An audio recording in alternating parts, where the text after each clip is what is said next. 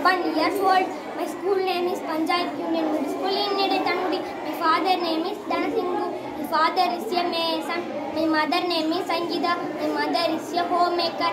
I have two sisters and no brother. I am coming from Redangudi. My birthday is on December 29. My hobby is playing.